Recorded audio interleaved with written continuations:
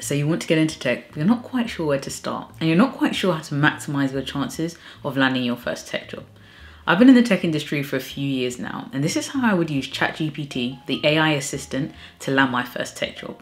And I'm going from the beginning, like I'm not even sure which role to go into, all the way to the actual interview. So let's get into it. So ChatGPT is an AI system based on a language model, which basically just means it has been trained on a large, large amount of data in order to process and understand human language. So, the way that we would talk to our friends or a consultant or a teacher, it's able to process that and give us feedback, give us outputs and responses.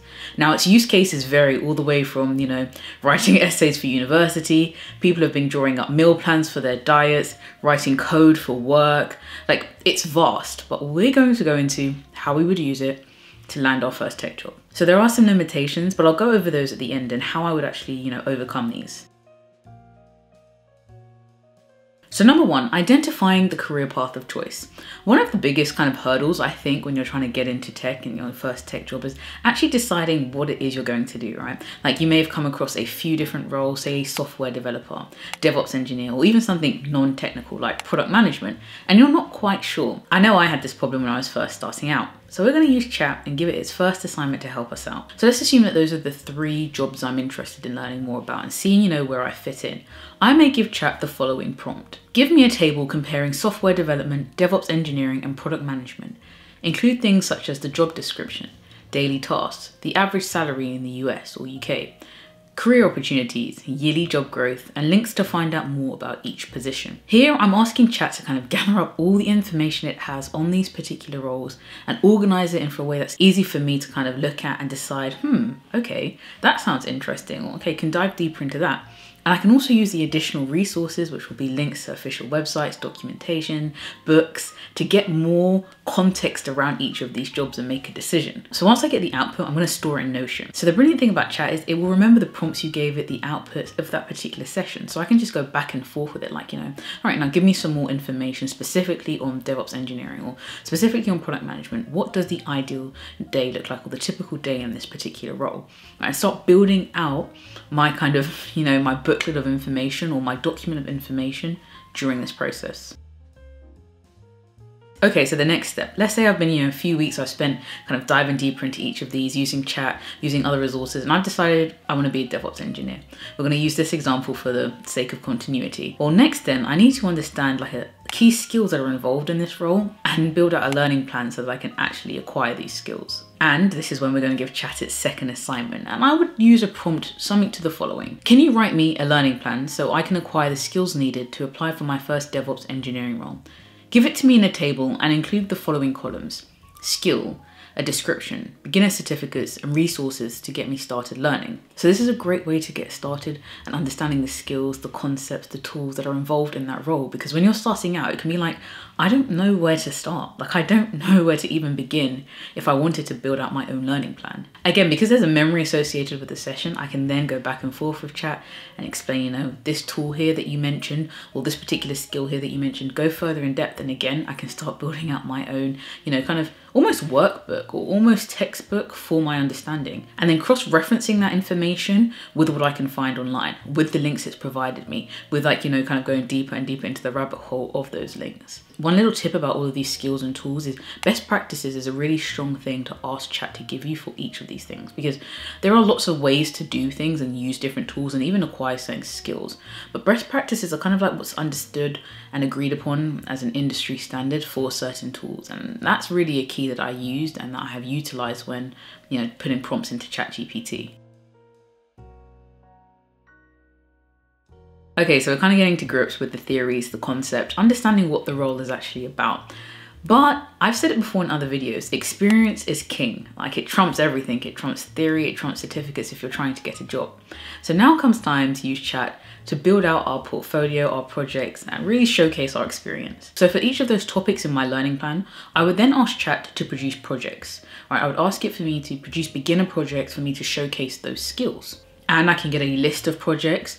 But furthermore, for each of those, I can ask for the step-by-step -step guide for how I would do that project, right? Say I've never touched something like Terraform in my life and I don't know how to even get started. I can ask chat to give me the step-by-step -step guide for that. You know, what do I even need to download? Where do I do this? What to even click on when I'm here? And you can go again, back and forth. If you get stuck, ask chat, this didn't work, or mm, can you show it to me in another way? Or actually, I'm working on Mac, not Windows, and so forth. You can even ask it to give you example code or how to test that code that you're writing. It's really quite extensive what can be done here when you're trying to learn and build out your portfolio. So once you've kind of got that and you're already starting on you know your projects or building that out you can also get chat to, to kind of write the text that would accompany this portfolio. So say you're using a repository building out your readme file or if you are saying design you're going down the design route in tech and you're building out a website getting chat to write out the, the text that's going to accompany your landing page and so forth. So the kind of the whole thing can literally be guided with chat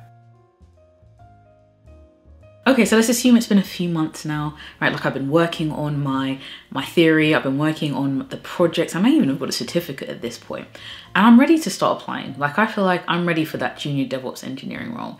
Well, now we've got to get into the career side of things, and the first thing I do is CVs and cover letters. So what I'd actually do next is give chat my work experience, education, even the projects that I've done, and ask it to build me out a resume or a CV. Given the following information about my experiences, write me a CV for a junior DevOps engineering role with the following categories: a profile summary work experience, projects, education, and technical skills. And it's going to give me some sort of feedback. And then I'm going to use that, iterate over that, and make sure that it kind of reflects what I want it to reflect. It sounds like me.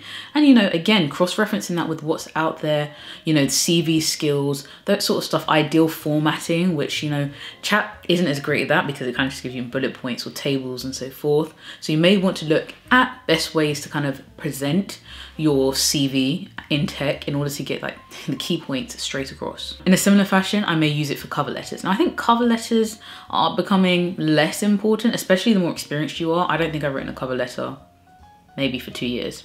But in the beginning, when you're trying to make the case for why somebody should take you on with no experience basically in enterprise or production, these I think can be quite strong then. And so using chat to formulate these cover letters, given your experiences, and given information on the company. For some companies, chat has information on that, right? Things that are quite well known, like a Google or a Microsoft, it knows what that company is.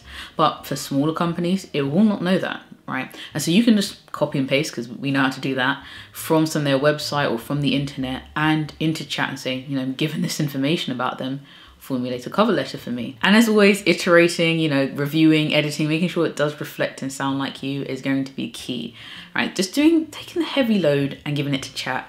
And then you get to do all the, the nice little edits, uh, the rounding off, just the smoothing out the edges. Although sometimes you may just need to like just delete a whole thing and be like, that's trash.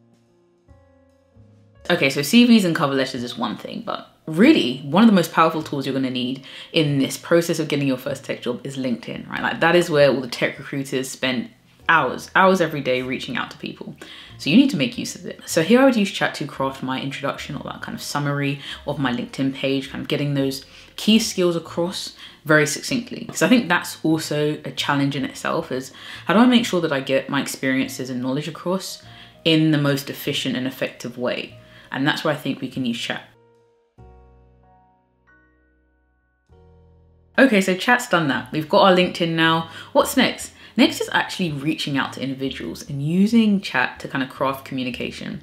So what I mean by this is in your first job or trying to get your first few jobs, who you know is really important. In fact, throughout your career, who you know is important and making connections. So it can be helpful sometimes to reach out to individuals in companies or sending emails or even LinkedIn messages. And again, you can use chat to help craft those messages to these individuals, either by giving some information or but just generally, even if you've written something and you would like to give it to chat to kind of review and make it neater, make it sound more formal, less formal, just check, especially maybe if you struggle with written communication, you can get chat to kind of clean and buffer that up for you. Again, probably wouldn't advise just lifting and shifting, like giving chat something and then just taking the whole thing without editing and reviewing. But it's again another fantastic resource that you can use to help with the whole process of communicating your enthusiasm and your experience to a potential employer or potential people in the industry that you can make connections with. And the final way I would use chat, once I've acquired the skills, my projects are there, I've built out my portfolio, I've made some connections, right? Like I've got to the interview stage at this point, basically. Interview questions and answers. I would ask chat to provide me with the common questions or the most frequently asked questions in a DevOps interview. and some of the ideal answers. But I want to make sure that my projects and experience align with this. So I'm going to actually ask chat to craft some of these answers to the questions with reference to my experiences and in the star format. So if you don't know what star is, it's just like the ideal way of answering questions in an interview, whereby you give the situation, the task that you had to do, the actions that you took, and then the results of those actions. And so getting chat to do it in that format then means you can kind of just move that over into your document, your Notion or whatever, and you have that to revise from, to review, and also practice. Because the final kind of stage of this, I would say, is in practicing with a human, because you will still have to interview with a human. So practice with one, somebody at your home. Ideally, somebody who's in the industry, who has experience, who's been through this, is gonna be optimal because they're gonna notice things in, you know, what you're saying that the normal person, normal person, somebody not in the industry won't notice.